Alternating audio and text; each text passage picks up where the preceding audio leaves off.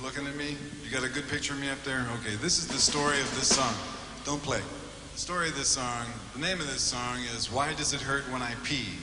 And what happened was we were on the bus the other day, and our road manager, Phil Kaufman, who I'm sure you'll meet later, uh, had to go to the toilet on the bus. And so first he said, Excuse me, I'm going to go vote. And then he walked into the toilet in the back, and he was in there for a couple of minutes. And the next thing you hear is this horrible scream coming out of the toilet. And then he, com- he comes out of the toilet and he says, Why does it hurt when I pee? Now, this is the kind of thing that our songs are made out of little incidents, little slices of everyday life that turn into really great musical masterpieces. The style of this song, the, the way the arrangement for a song is determined, has something to do with the type of words that are in the song. The type of words that are in this song are really stupid, so therefore we have a really stupid arrangement.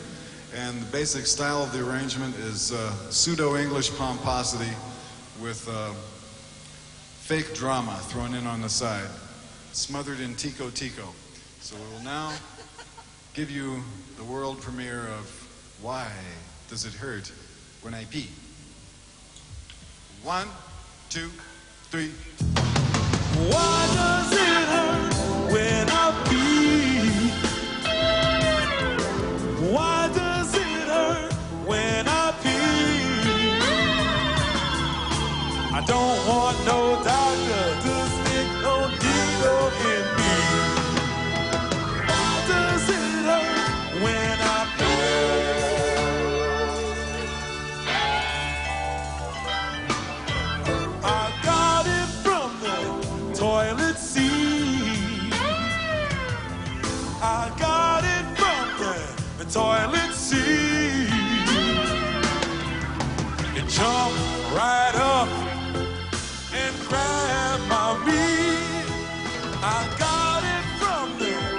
toilet seat.